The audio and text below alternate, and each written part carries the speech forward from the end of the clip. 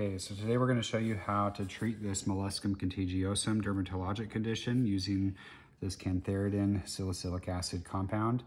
A couple things to note, it's a vi pretty viscous solution, so you've gotta shake it up to make sure that it's evenly constituted. And it's also helpful if you have a larger needle. This is an 18 gauge needle compared to when we tried it with a 25 gauge needle, it completely clotted it. And this is a one ml syringe and it wasn't sufficient.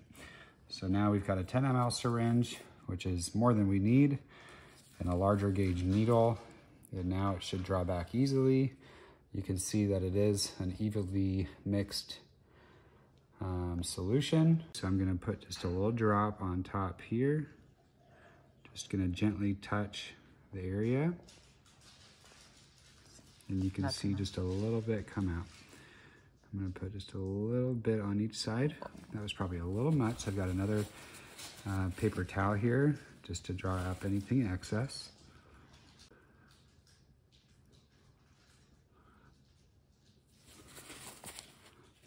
And dries very quickly. We're gonna do one down here. Okay, so now that we've got that applied, it dries pretty quick and you'll see a white coating on top, indicating that it's dried. I'm just gonna put on this Tegaderm on top, and this just makes sure, ensures that it stays in place while she's still a pretty active kid.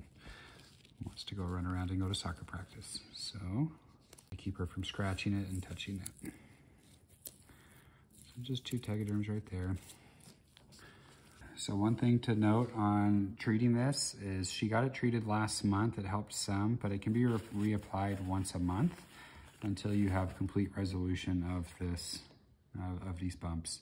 It's gonna blister over. If you put on too much, it'll have an even bigger blister but you'll note that she will have blisters over each of these, these areas. Another key reminder, yes, I have a needle tip, but that's only so I can apply a very small drop onto each wound. I'm not actually injecting or touching the skin with this. I'm just using this as an applicator.